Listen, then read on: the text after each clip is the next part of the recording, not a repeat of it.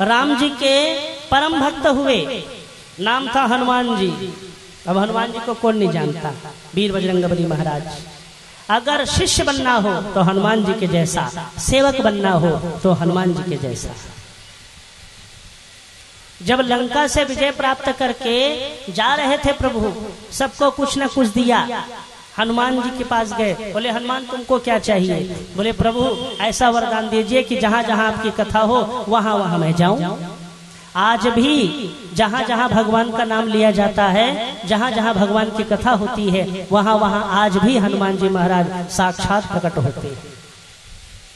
हनुमान जी अमर है, चिरंजीवी है हनुमान जी। ये मत सोचना कि हनुमान जी नहीं है। जहाँ जहाँ प्रभु का नाम लेते हैं, वहाँ वहाँ हनुमान जी आते हैं। जिनका नाम है संकट मोचन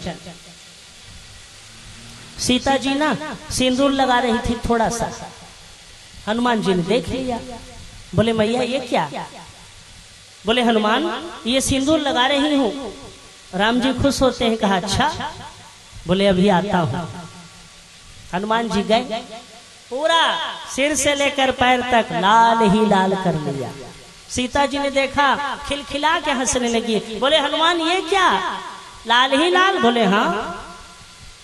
जब आप इतना सा सिंदूर लगाते हो, राम जी खुश हो जाते हैं, मैंने तो पूरा ही लगा लिया। मुझ पर तो ज़्यादा खुश होंगे ना। और तब से हनुमान जी को चोला चढ़ता है, चोला। चमेली के तेल में सिंदूर मिलाकर के, बंधन मिलाकर के मंगलवार और शनिवार के दिन हनुमान जी को लगाया जाता है। तभी तो कहने पड़े, लोग आज भी कहते हैं कि लाल देह लालील से, अरुधरि लाल लंगो वज्र देह दानव दलन, जय जय जय कपिशोर। तब से नाम पड़ गया लाल देह लाली दशे अरुधरि लाल लंगूर वज्र देह दानव दल जय जय जय कपिशोर। जिनका नाम है हनुमान।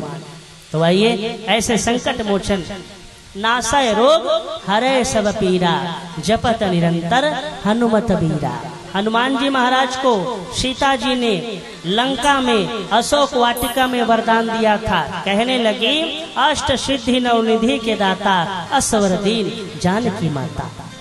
सीता जी ने वरदान दिया था। अष्ट सिद्धि, आठों सिद्धि के नौ निधि नौ निधि के तुम स्वामी हो। अमर रहोगे हनुमान, ये मेरा आशीर्वाद है। तो हनुमान जी महाराज, आज भी अमर है। भूत पिशाच निकट नहीं आवे। महावीर जब नाम सुनावे। संकट से हनुमान छुड़ावे। मन, क्रम, वचन, ध्यान जो लावे। वो है हनुमान जी महाराज।